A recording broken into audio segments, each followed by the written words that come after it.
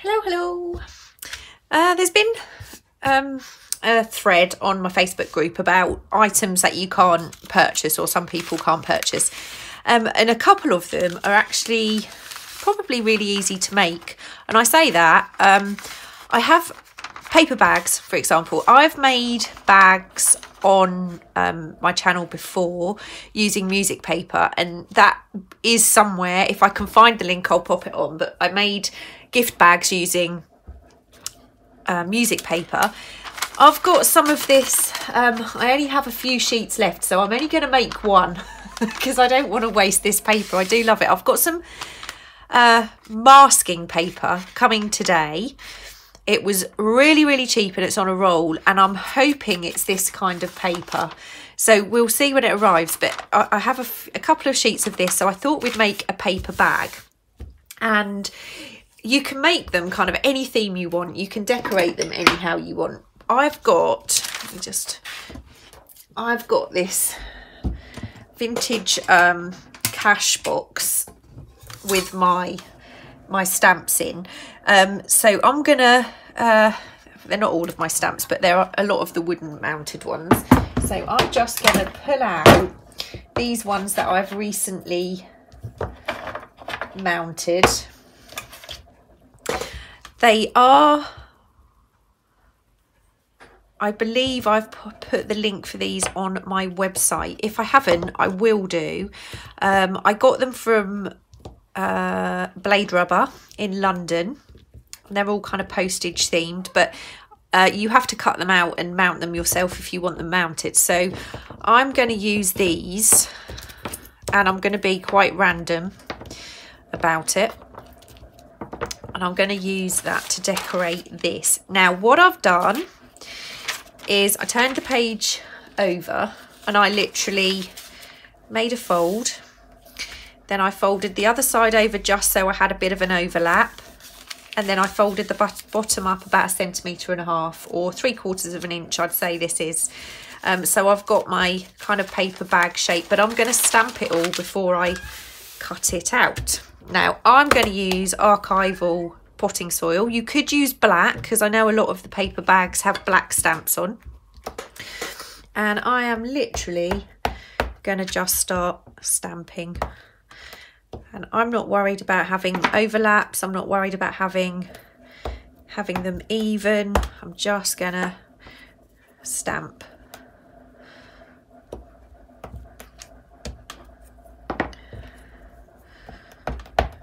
and I've tried this before on washi and it went horribly wrong so we'll see how my random stamping goes this time hopefully better than the last time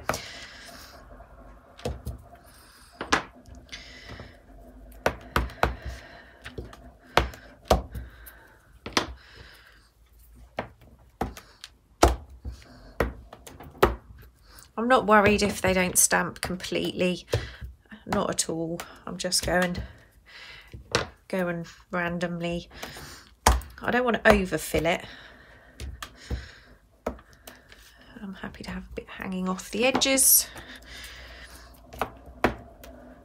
Get one in there, one in there. Go at the top there. I'm going to start repeating some now. Uh,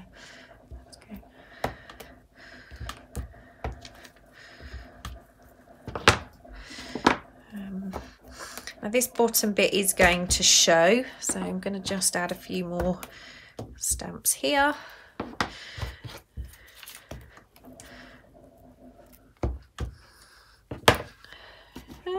What else can we do? Uh, got a few gaps. I'm going to fill those.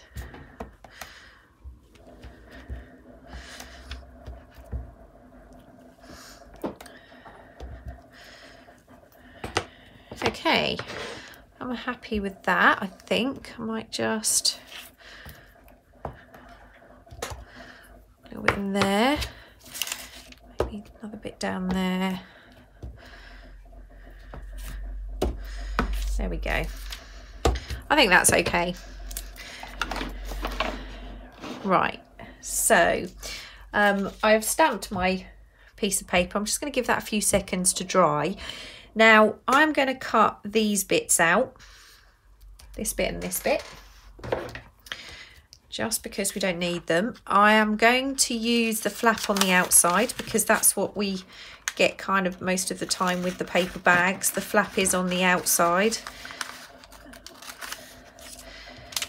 So this has not got to be as perfectly lined up if you're closing it with the flap on the inside.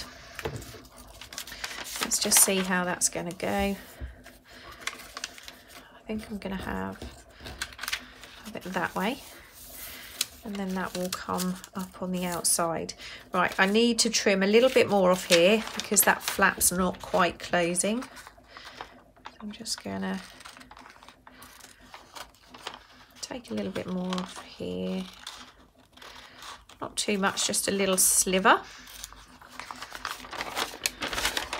And if you've got, you could use any kind of stamps you have. You could use florals, you could use um, script stamps, anything you have. It really doesn't matter. You could just use it to the theme of your project. Now, when I close that up, I've got quite a lot of blank space here. So I'm going to add another couple of stamps. Put a bit there. And let's go bit there. And I'm just going to very slightly mitre those edges. Not going in too much. But that's going to be the outside of my bag, which I think is going to be fine. Now it's kind of a decision what I'm going to do along the top, whether I'm going to make this um, uh, right, what I've got. I have my, I'm not sure how well these are going to work on this thin paper. This is a I'm going to try it on a spare piece. Yeah, that's okay. So the pinking shears go quite well. You can get these really cheap too, actually. What I'm going to do is this is probably where it's going to go horribly wrong. I'm going to just slightly round this front part of the paper bag and try and line up as best I can.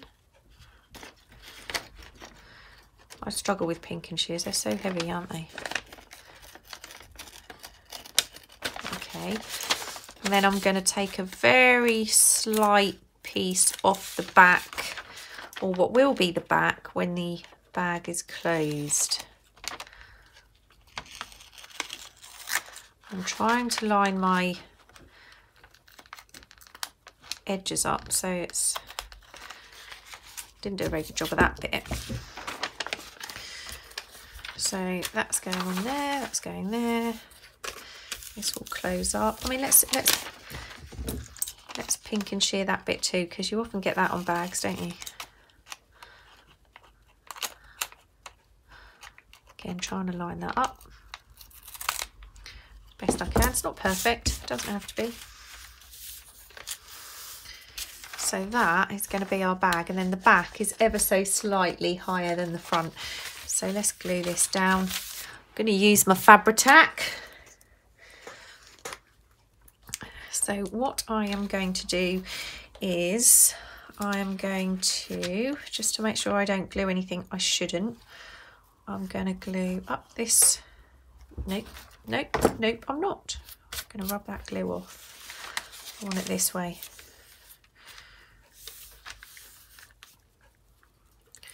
Okay, so I'm going to glue up the up this inside here.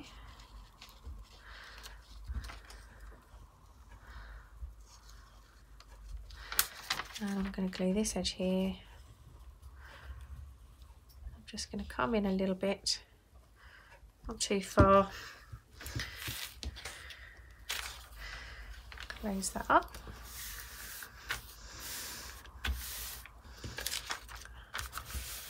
and then I'm going to glue the bottom flap.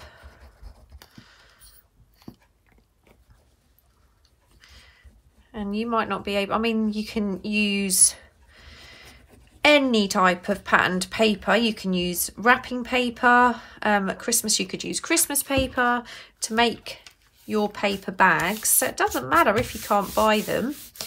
I mean, you could you could have pink and cheered up there as well if you wanted to. It doesn't matter if you can't buy them. A paper bag is so, so easy to make. There we go. We now have a paper bag and if you wanted to you could then go ahead and cut the bottom off fold it up and pop it into a journal just like you would a purchased paper bag.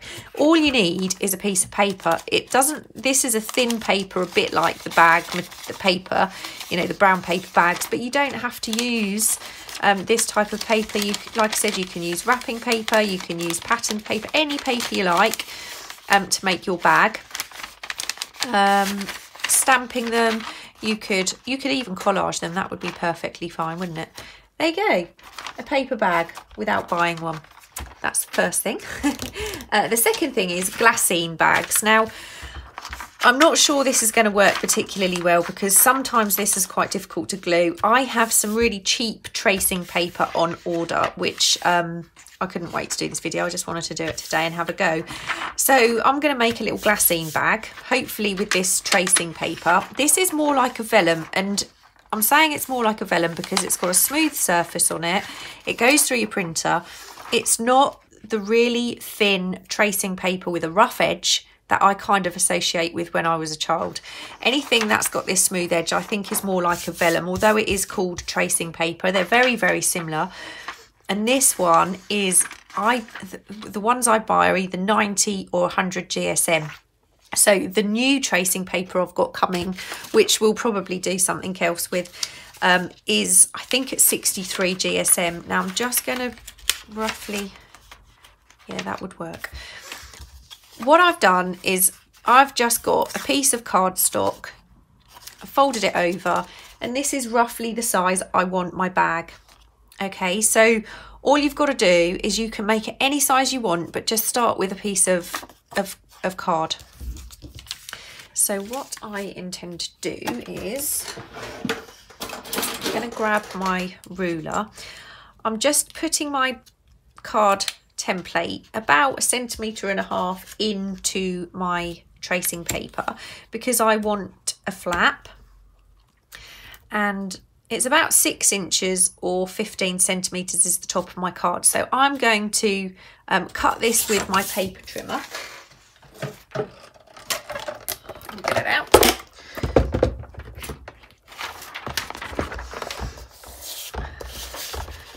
And I'm going to add a, a, about a quarter of an inch actually. So it's about six and a quarter inches or 16 centimetres. I've cut that.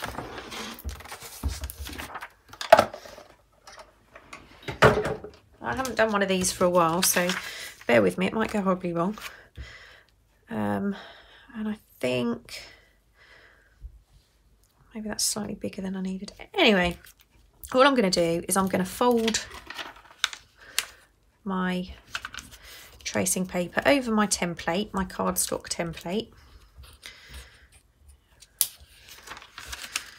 And then this way you can make several and know they're going to be all exactly the same size. So that's okay. And I'm going to open that up and I'm going to fold it that way. Okay, template's done. Now I'm going to keep the middle section and I'm just going to cut out the outside too. Um, that we don't need. These scissors don't like this paper particularly. And I'm going to mitre that inside section. Probably done that a little bit too much. It's very, very similar to how you make the paper bag. And um,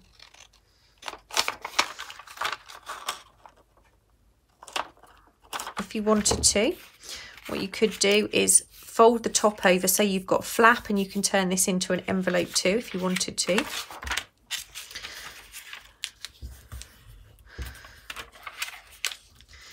Now I can see I'm going to catch there a little bit, so I'm just going to take a little bit more off there.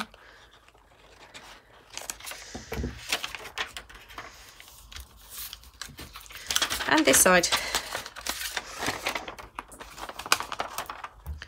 Once you've folded this stuff, it's quite difficult to work with it because it kind of wants to ping into the, the fold you make.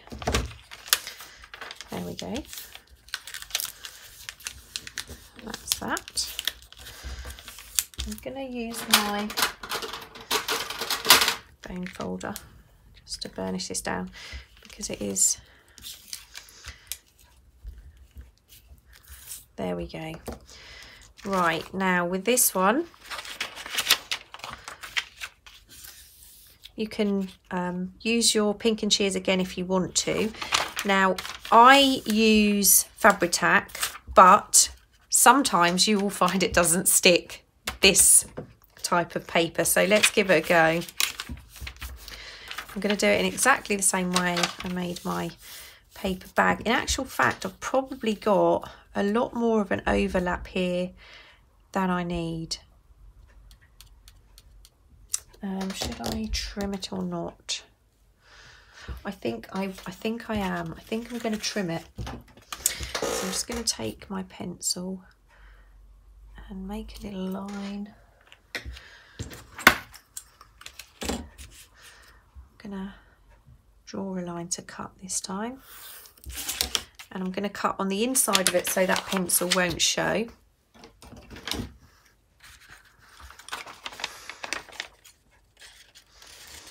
It's actually very difficult. I'm going to do it this way round so I can see my line.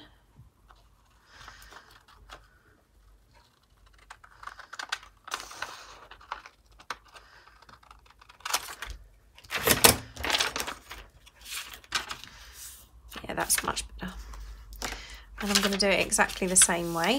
So I'm going to glue up either side. I'm going to put a very tiny bit across there because I know there's a little bit of an overlap. Just going to glue down here. I'm going to fold it now.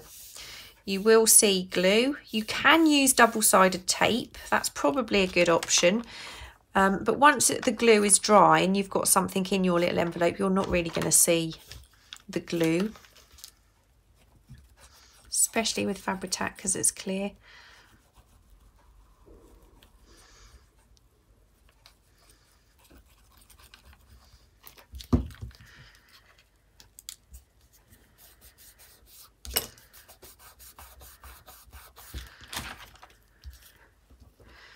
Okay, there you have your little glassine style bag that I've glued closed. Ta-da! okay, that's got rid of that. Um, this is the problem with this particular paper. Um, and that's why I'm waiting for this tracing paper because some of this won't stick particularly well. Um, this is this is much better than the freezer paper. I find the freezer paper quite difficult to make the bags out of.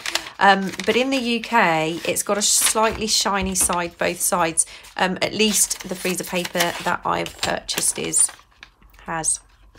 So there we go. There's a little um, a little glassine bag. And like I said, if you wanted to, you could cut the front off so you could make a flap too. Now, you could use this process using any type of paper you like, any pattern, any, um, you know, you can use your tracing paper, you could use uh, packaging paper. Uh, the packaging paper you get from Amazon is probably perfect for making these kind of bags. Um, but that was just a quick and easy little tutorial just to help some of you guys out, especially if you were in the thread in, in the group and saying you were struggling to find some of these things in your country. So I hope that helps. Um, Artie Maze has a fantastic tutorial on making the large manila file folders, but I'm happy to do a plain one if if you like. Just let me know and I'll speak to you all soon. Bye.